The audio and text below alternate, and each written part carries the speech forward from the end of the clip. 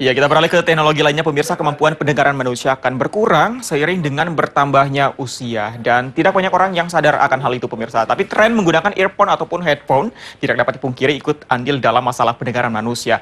Pasalnya, tidak jarang pengguna earphone ataupun headphone yang menyetel musik-musik mereka dengan volume yang sangat tinggi. Tapi pemirsa, kini hadir headphone Aegis Pro yang dapat memberikan kenyamanan kepada para penggunanya. Dan pastinya tidak akan merusak gendang telinga Anda.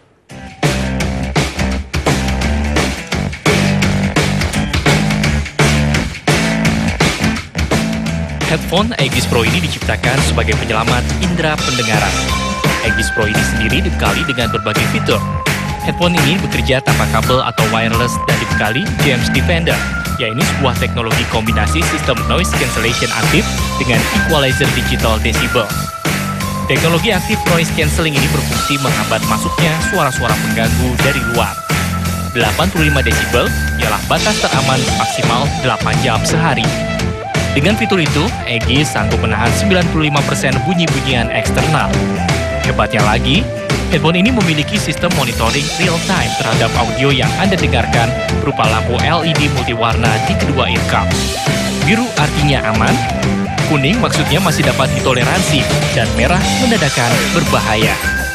Meskipun difokuskan pada faktor keselamatan indera pendengaran, tim pencipta Aegis Pro tak mau kompromi soal performa.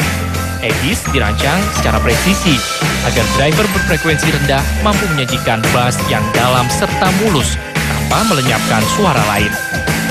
Anda ingin memilikinya? Kampanye pengumpulan dana Aegis Pro sedang berlangsung di Kickstarter. Satu unit Aegis Pro ini dijual mulai dari 110 dolar Amerika Serikat atau sekitar 1,4